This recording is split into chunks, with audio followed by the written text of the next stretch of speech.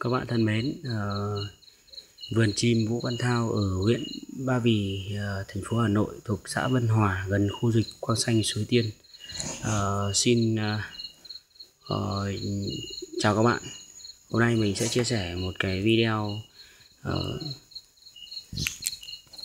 một video uh, dành cho những người thích uh, nuôi chim cô gáy thì và tạo cho mình một con chim uh, thuần. Thì hôm trước mình cũng có chia sẻ một cái video là con chim không phải lồng và tự bỗ ngô ở trên tay. Thả ra không phải lồng.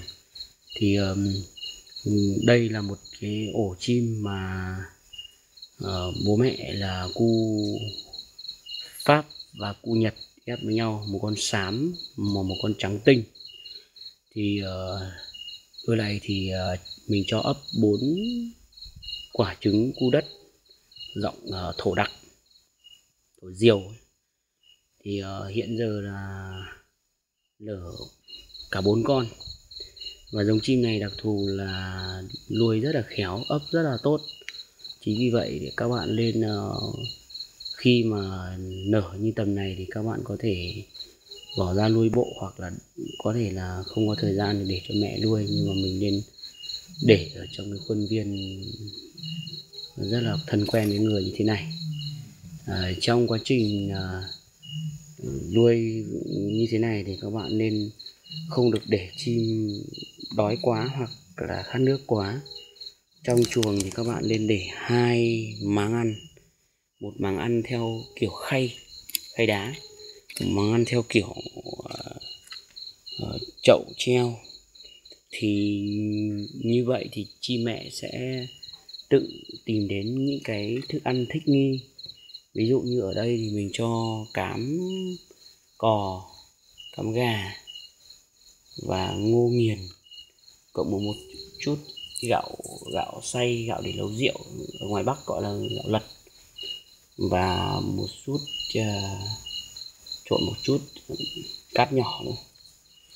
Thì và ở một góc trên cũng có một chút lúa.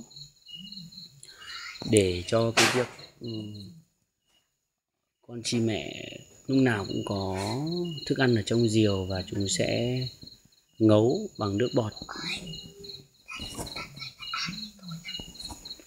Thì chim mẹ sẽ có cái lượng thức ăn để phục vụ bón cho bốn con nếu như hai con thì không vấn đề gì nhưng bốn con chị mẹ sẽ nuôi vất vả hơn.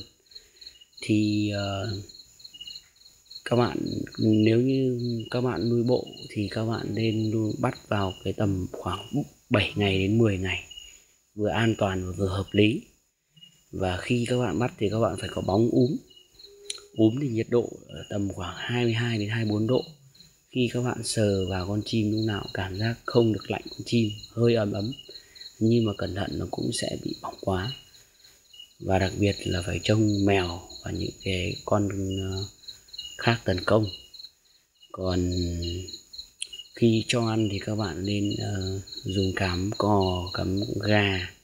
Các bạn nghiền nhỏ ra và mỗi một lúc cho ăn là lấy uh, nước sôi khoảng 40 độ. Sôi đun sôi rồi nhưng mà lúc lấy ra khoảng 40 độ và khuấy đều lên khi mình cho cho chim ăn là không được bỏng mà cũng không được lạnh ngắt không ăn bữa nào là pha bữa đấy không được để à, uh, niêu cữu thiêu chua. Và đặc biệt là không uh, các bạn uh, dùng có thể là dùng bằng cái xi lanh 10 và một cái tia ô bằng cao su mềm mỏng. Các bạn đưa khéo khéo không được sâu quá không được chọc mạnh các bạn bơm ngày 3 lần 4 lần tùy vào thời. Và đặc biệt là không, trong lúc chọc là mình không được làm gãy mỏ hay là làm đau cổ con chim. Và đặc biệt là các bạn đừng vì tham công việc quá mà mà mà bỏ bê. Ví dụ như mình căn 7 giờ cho ăn tận 12 giờ về là không ổn. Mà các bạn tham các bạn lại bơm thật no diều để cho nó chống chịu được đến tận 12 giờ các bạn thiết nghĩ là như vậy, nhưng thực tế là rất sai. Có những bạn gọi điện cho tôi bảo là tại sao đó là trường hợp các bạn gọi là không có thời gian và các bạn làm cho gì? Con chim bị vỡ diều vỡ diều hoặc là bị, nếu mà các bạn để chim là sẽ thở vào mũi các bạn, nếu mà các bạn nhúc cho nó lúc qua chùm tay hoặc là mồng ấy, các bạn không được để tắc lỗ mũi. Không bị, các bạn bón phải cực kỳ khéo, không là phải tràn tràn vào cái phế quản hay phổi gì đấy. Các bạn hình dung là như vậy. Mình uống nước thì mình phải có cái thở bằng mũi thì mình uống được. Và ăn cũng vậy. Nó phải đúng khéo léo. Tại sao mà con chim mẹ nó nuôi rất khéo? Bởi vì con chim mẹ há mồm ra và con chim con là gì? Nhúc vào trong và moi thức ăn ra. Như thế là con chim con chủ động ăn. Những cái loại chim khác thì con chim con chỉ việc há mồm và chim mẹ thả vào miệng. Thế chính vì vậy là khác hẳn luôn. Thì uh, mình cũng chia sẻ nhiều một số ờ, người bảo là uh, nhận hàng thì như thế nào thì bên mình cũng đã đóng gói và mình đã đẩy một số video để lấy niềm tin cho các bạn.